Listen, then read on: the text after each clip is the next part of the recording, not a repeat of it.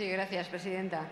Mi grupo parlamentario saluda también la presentación de esta iniciativa del Gobierno y también agradecemos a Esquerra Republicana y a la Izquierda Plural sus enmiendas de totalidad que no vamos a compartir, que no vamos a apoyar, pero que han permitido, que permiten que tengamos este debate de totalidad en este momento y que abordemos la cuestión en el debate plenario.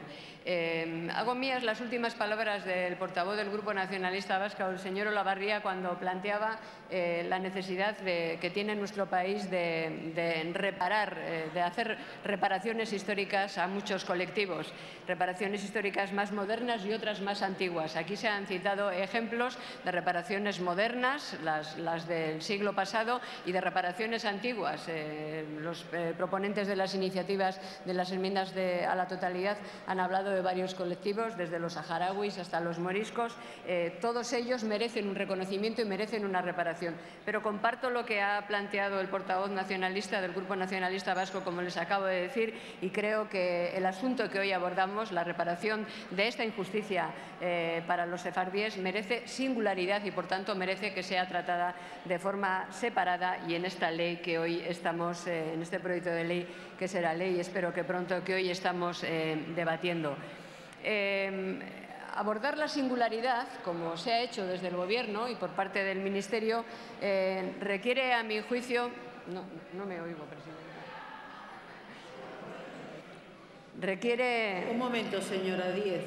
Por favor, si quieren tener conversaciones, háganlo fuera del hemiciclo, que tienen ustedes un mal maravilloso ahí atrás. Gracias, presidenta. Eh, digo que, abordar esta reparación, tal y como ha hecho el, cuál es la actitud del Gobierno, cuando es la, propuesta del Gobierno, de una forma singular requiere el reconocimiento de lo que hemos hecho, de lo que España ha hecho mal, aunque sean nuestros lejanos predecesores. Eh, cabe recordar eh, algunos antecedentes históricos, algunos los ha recordado el propio ministro, yo quiero recordar también alguno de ellos. España tuvo alguna de las leyes antisemitas más antiguas de Occidente, la del rey visigodo Sisebuto en el año 612, una ley que limitaba el derecho de propiedad a los judíos y preveía la condena a muerte del judío que convirtiera a un cristiano. Como saben ustedes, el converso a su vez era vendido como esclavo. Esos son nuestros antecedentes. Pese al antisemitismo católico y la discriminación legal bajo muchas y diferentes fórmulas, la comunidad judía española, los sefardíes, se convirtió en una de las más grandes, influyentes y activas de la Europa occidental. Toledo, Córdoba, Zaragoza, León, Gerona, Tudela eran auténticos centros de referencia de la cultura judía, que era a la vez cultura española, de la cultura judía del más alto nivel. A lo largo del siglo XIV hubo violentos ataques y matanzas de judíos en todos los reinos peninsulares, matanzas que obligaron a muchos, a muchos judíos a convertirse a la fuerza y a practicar su religión y tradiciones de forma clandestina. En el momento del decreto de expulsión de los reyes católicos que aquí ya se ha citado, la comunidad sefardí ascendía aún a decenas de miles de familias que rechazaban la conversión forzosa que se les ofrecía como única alternativa para poder seguir viviendo en España. Su exilio privó a España de una parte muy importante y valiosa de su sociedad y de su cultura.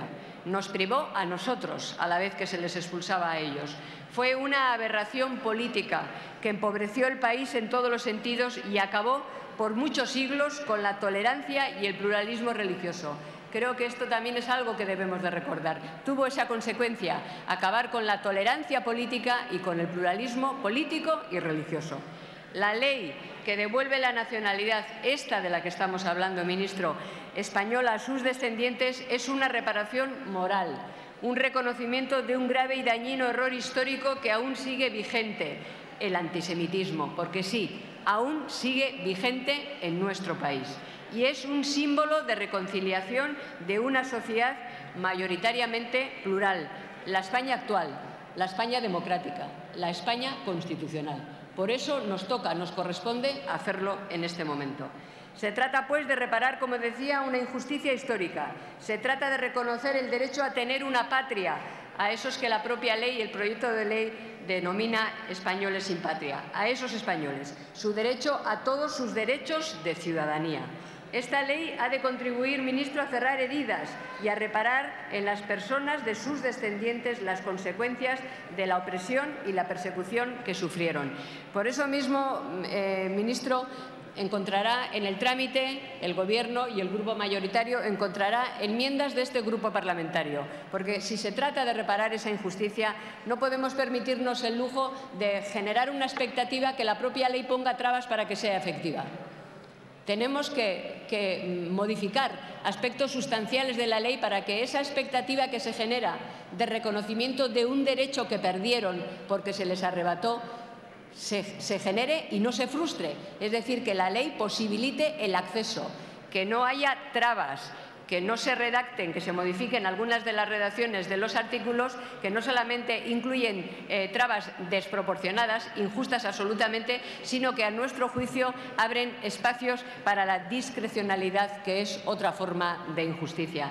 Ministro, yo espero que en el trámite, nuestro grupo espera que en el trámite parlamentario el Ministerio de Justicia, el Gobierno, en definitiva, y el grupo mayoritario, el grupo parlamentario del Partido Popular, tenga una actitud distinta a como suele tenerla en la tramitación de este tipo de leyes, de los proyectos de ley en general, tenga una actitud abierta, quiera de verdad mejorar el texto y de, ese trámite parlamentario tengamos finalmente un texto que facilita la vida a aquellos a los que hoy queremos reconocerles los derechos, no genera expectativas y, por cierto, también no se privatiza en modo alguno el procedimiento.